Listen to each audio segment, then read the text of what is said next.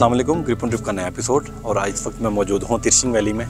और अब मैं ये फ़िलहाल ये डिसाइड नहीं कर पा रहा कि मैं व्यू पॉइंट पर जाऊँ ग्लेशियर वाली साइड पे नांगा पर्वत की या रूपाल फेस की तरफ़ से बेस कैंप की तरफ़ जाऊँ। अभी हम आपको सफ़र दिखाते हैं गोरी कोट से। तिरसिंग वैली जाते हुए हमें हार्डली एक घंटा लगता है गोरी कोट से। सड़क ओवरऑल बहुत अच्छी है।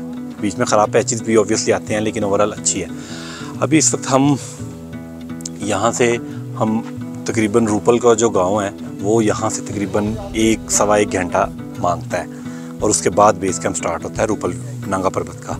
लेकिन उसकी एक जुगाड़ निकली हुई है यहाँ पे। एक नई मैंने देखी है कि यहाँ से अगर आप नांगा पर्वत ग्लेशियर का व्यू पॉइंट लेना चाहते हैं ना तो आप यहाँ से भी ऊपर जा सकते हैं। पहले तो आपको दिखाता हूँ सफ़र और फिर तिरसिंग से देखते हैं व्यू पॉइंट और उसके बाद हम फैसला करते हैं कि हमने रूपल जाना है या नहीं जाना, हमारे साथ रहिएगा।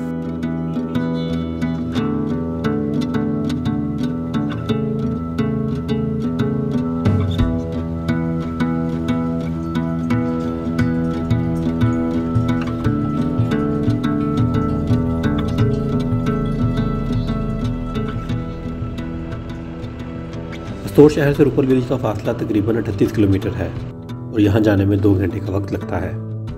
रुपल विलेज जाने के लिए आप गौरीकोट के ब्रिज से राइट होंगे। दिल्ली झील जाने के लिए भी यही रास्ता इस्तेमाल होता है, जो रट्टू के कट तक सेम रहता है।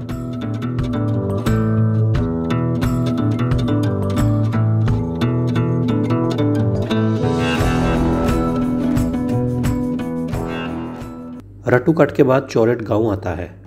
और सड़क एकदम से बेहतरीन हो जाती है। चौरट गाँव बहुत ही खूबसूरत है।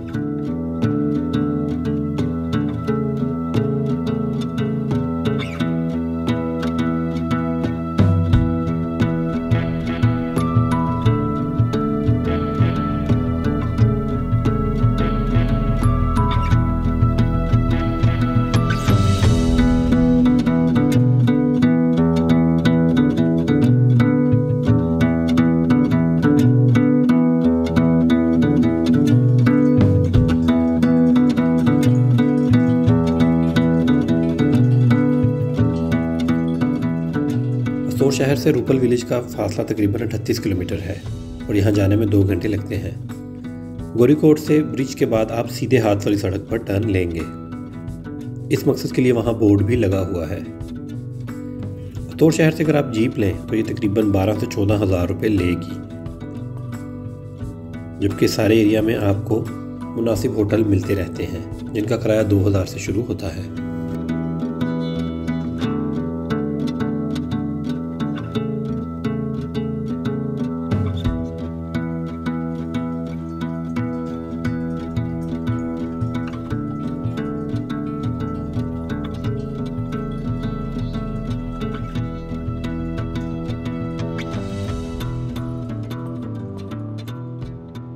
चौरट विलेज के बाद अब हम त्रिशिंग की तरफ़ सफ़र कर रहे हैं। जबकि सड़क ओवरऑल ठीक ही चल रही है। एक मुकामी ने बताया था कि त्रिशिंग विलेज तक सड़क ऐसी ही है, जबकि त्रिशिंग के बाद से रूपल का रास्ता बहुत ख़राब है।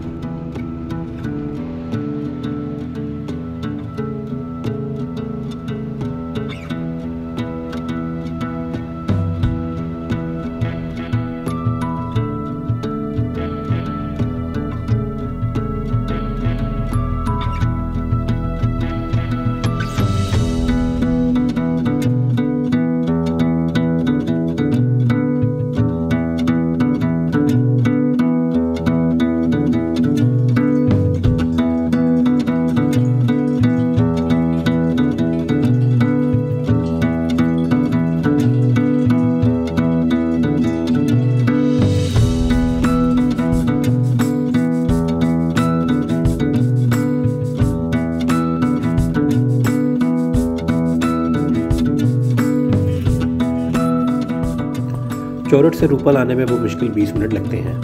ये सारा रास्ता ही बहुत खूबसूरत था। त्रिशिंगविली से अब हम रूपल की तरफ़ निकलेंगे, जहाँ पहुँचने में हमें तकरीबन 40 से 50 मिनट लगेंगे। अगर हम चाहें तो त्रिशिंगविली से भी नांगा पर्वत का दीदार कर सकते हैं।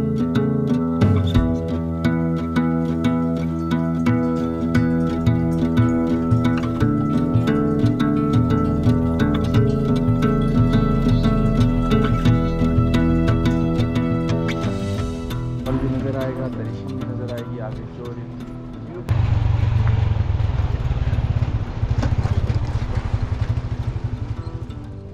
त्रिशीमली का जैसे ही सफ़र शुरू किया तो एकदम से सरप्राइज़ मिला।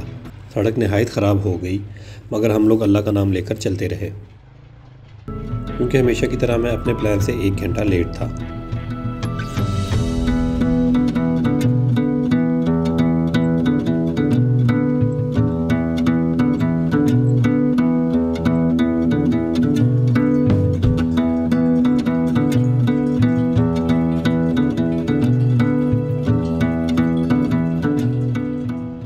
ख़राब चढ़ाइयाँ चढ़ने के बाद मैदानी इलाका शुरू हुआ तो कुछ सुकून मिला। लेकिन सड़क बहुत ही ख़राब थी और हम लोग कई दफ़ा कीचड़ में फंसे।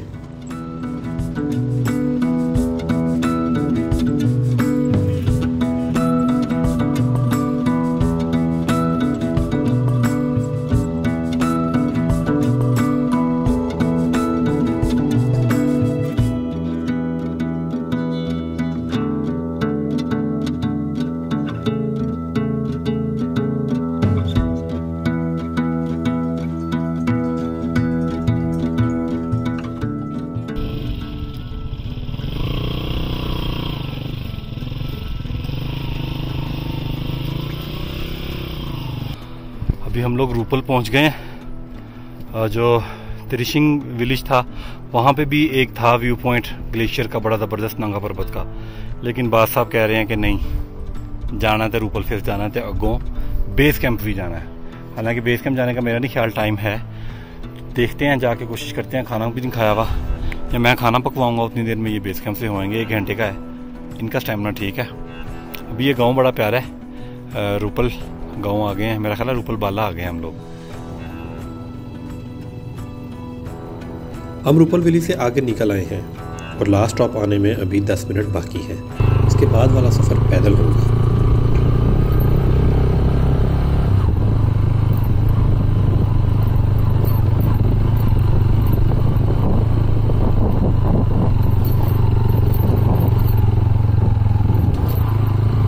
और ये वो होटल है जहाँ पे हम ये अब हमारा आखिरी स्टॉप है। खाने का ऑर्डर दिया है और पैदल सफ़र पर चल पड़े हैं।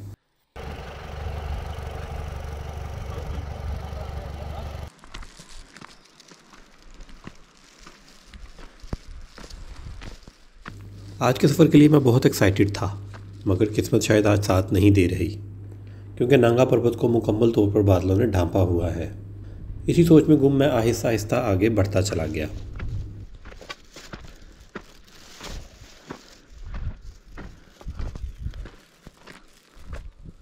वापस आने वाले एक ग्रुप ने बताया कि वो लोग तीन घंटे बेस कैंप पर वेट करते रहे हैं कि कब बादल हटें और वो नांगा पर्वत देख सकें। बेस कैंप तक पैदल जाने में 40 मिनट लगते हैं और ये मुश्किल भी नहीं है। मगर बादलों की मौजूदा हालत देखकर और वापस आने वाले लोगों का रिव्यू सुनकर मैंने वापसी की राह ले ली जबकि बाज आगे निकल गया। उमर भाई को हम लोग नीचे ही छोड़ आए हैं। असल में वो खुद आना नहीं चाह रहे थे। हम कैसे छोड़ सकते उन्हें? वो बादलों की वजह से वो कह रहे थे, नानका पर्वत नहीं नज़र आएगा तो मैं नहीं जा रहा। अगर आप लोगों को जाना तो चले जाओ। तो मैंने और अहमद ने फ़ैसला किया कि हम बेस कैंप तक तो जाएँ, जितना जा सकते हैं। तो भी हम आगे हैं, वो आपको नज़र आ रहा होगा। वो येलो और ग्रीन ऑरेंज और ग्रीन कलर के टेंट उमर भाई वहाँ पे हैं और हम लोग आगे जा रहे हैं।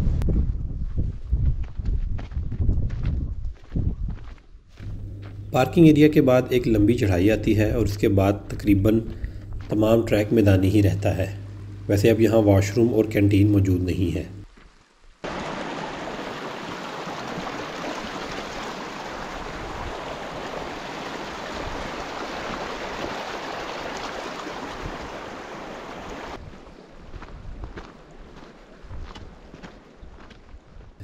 जब आप बेस कैंप पहुँचें तो इससे आगे 10-15 मिनट की वॉक करके मज़ीद आगे लाजमी जाएँ, क्योंकि नांगा पर्वत का असल व्यू वहीं से मिलेगा। मगर बादलों ने इस खूबसूरत पहाड़ को घेर रखा है और अक्सर लोगों के साथ ऐसा ही होता है। ये ग्लेशियर इस वक्त पिघल रहा है और इसके ऊपर ये जो पत्थर पड़े हैं ना जिसके पिघलने की वजह से सिरक कर ये नीचे सारे इकट्ठे हो गए। अभी इस तरफ़ से वो हल्के हल्के पत्थर गिरे। वो बड़े वाला जो भी मेरे सामने गिरा है, मैं उसे रिकॉर्ड नहीं कर सका, लेकिन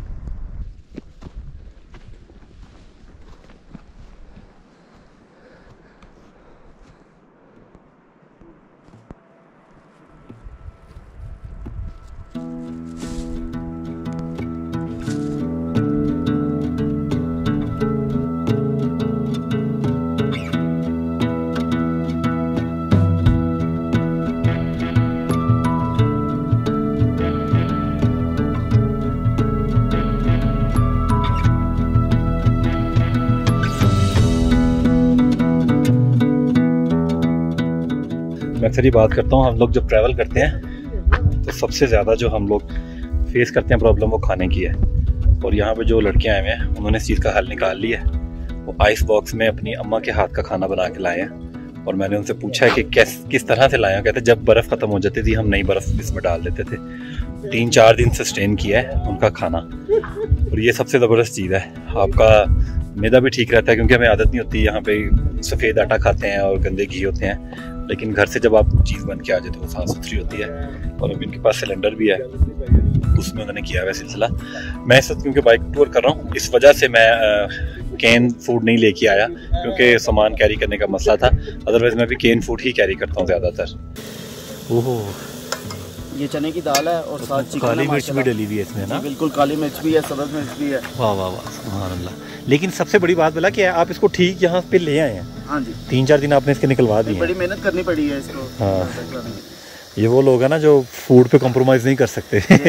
हाँ जी। यहाँ पे क्योंकि दस हज़ार फुट की बुलंदी है और यहाँ पे खाना जो है वो आराम से नहीं पकता।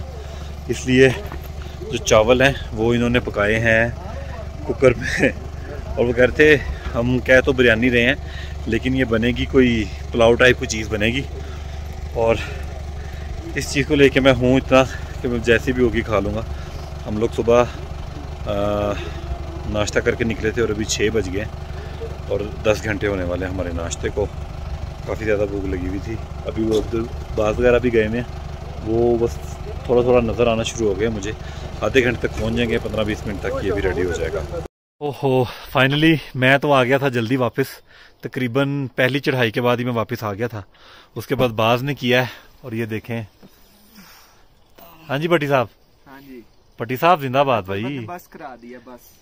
लेकिन बैड लक ये हुई है कि हमारे बादल नहीं हमें मिल सके। ये एक बड़ा मसला हुआ है। तो मिले ओहो सॉरी बादल ही तो गए नहीं। हम वहाँ पे गए हैं तो मुझे रास्ते में ग्रुप मिला। वो कहते हैं हम पिछले दो घंटे से यहाँ पे बैठे हुए हैं कि बादल पीछे हटेंगे तो हम देखेंगे। तो महबूब बड़ा संगदिल है। ऐसे नहीं करना चाहिए। इतनी मुश्किल से हम गए। इतनी मुश्किल से हम बेस कैंप पे पहुँचना इतनी मुश्किल है और आगे से ट्रैकिंग करना तो और मुश्किल है। मरीज़ बंदा हूँ मैंने, फिर भी इतना चला हूँ। उसके बाद मेरी बस हो गई। मैंने अपने बंदों को भेजा। फिर भी उसने उस तरह से नहीं किया। एनीवे अभी ये खाना आने लगा ये आपको मैं दिखाता हूँ। ये हमने एक पुलाव टाइप बनवाया। ये देखें, ये एक पुलाव टाइप सीन बना है। लेकिन बड़े मज़े का है। मैंने पहले चेक कर लिया था। अच्छा। हम लोग अपने प्लान से कोई डेढ़ घंटा लेट हो गए हैं। जो बेस कैंप था, वहाँ से बास का कहना है कि बिल्कुल थोड़ा सा व्यू नज़र आ रहा था और उसने फिर पूरा पहाड़ देखने के चक्कर में एक घंटा मजीद आगे ट्रैवल किया है। तो फिर एक घंटा अगर आगे ट्रैवल किया तो फिर एक घंटा पीछे भी आने में लगा। एनीवे जो बेस कैंप वन है, वहाँ पे आप फैमिलीज़ जा सकती हैं, लेकिन उससे आगे ना जाएँ, बेहतर है। पगडंडियाँ जो हैं, थोड़ी डेंजरस हैं। और वैसे भी वहाँ पे वॉशरूम की जो फैसिलिटी है, वो बिल्कुल गुजारा लायक है। और वहाँ पे ठंड भी बहुत पड़ जाती है। तो अगर आपने आना भी है तो आप ये पार्किंग वाले बेस कैंप में आ जाए। यहाँ पे आपको बेहतर टेंट मिल जाएँगे, ये देखें, ये पीछे लगे हुए हैं। ये वाले भाई हैं। आपको यहाँ पे बेहतर वाले टेंट मिल जाएँगे और खाना बड़ा अच्छा मिल जाएगा। उन्होंने हमें बड़ा अच्छा खाना खिलाया अभी हमें बिल्कुल भी हिम्मत नहीं है और आज इसकी, इस एफर्ट को तो कम अज़ कम आप लाजमी एक्नॉलेज कीजिएगा, इस वीडियो को लाइक कीजिएगा शेयर कीजिएगा। कमेंट कीजिएगा और हमें अपनी दुआओं में याद रखिएगा। अस्तौर की मेरी सीरीज़ अभी चल रही है और मिलते हैं अगले एपिसोड में। अल्लाह हाफिज़।